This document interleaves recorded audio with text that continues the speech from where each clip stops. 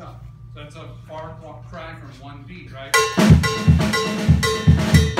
Which is totally awesome, totally awesome, but there's more stuff to get into. And so Zongo really was a part of creating this whole arc of, of blending funk and traditional rhythms.